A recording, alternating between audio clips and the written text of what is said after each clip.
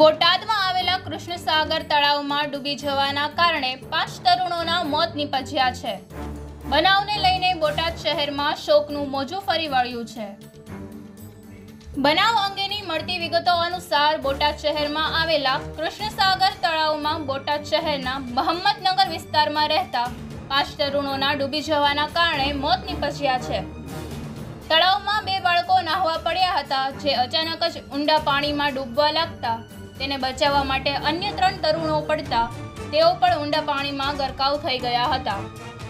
તે અંગેની જાણ તંત્રને થતાં ફાયરનો કાફલો તેમજ પોલીસનો કાફલો તાત્કાલિક ઘટના સ્થળે પહોંચ્યો હતો અને રેસ્ક્યુની કામગીરી હાથ ધરવામાં આવી હતી, જેમાં પાંચેય તરુણોના મૃતદેહ મળી આવ્યા હતા.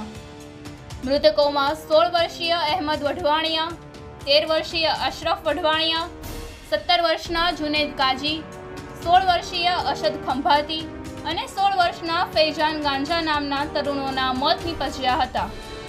બનાવને લઈને બોટાદમાં શોકનું મોજું ફરી વળ્યું છે.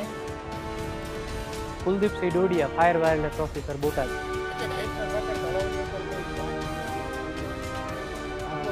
આજના દિવસે બપોરે ચાર ચાલીસ વાગે રાહુલભાઈ કરીને એક વ્યક્તિ રૂબરૂ અમારા ફાયર સ્ટેશન આવ્યા. એમના દ્વારા અમને જાણ કરવામાં આવી કે બોટાદ કૃષ્ણસાગર તળાવમાં પાંચ યુવાનો ડૂબેલ છે.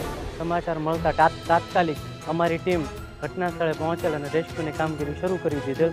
દોઢ કલાકના સર્ચ ઓપરેશન બાદ વન બાય વન પાંચ ડેડ બોડી મળેલ છે, જેના પરિવારજનોની હાજરીમાં અમે આગળની કાર્યવાહી અર્થે પોલીસ વિભાગને સોંપેલ છે.